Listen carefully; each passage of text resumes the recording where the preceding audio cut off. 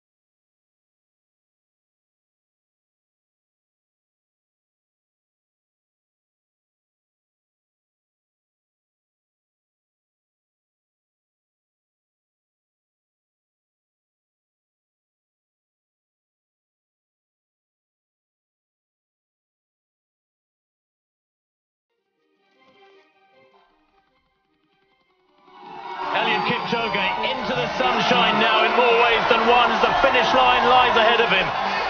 He's going to break the two hours, two minute barrier. There's no doubt about this. The greatest performance in the history of...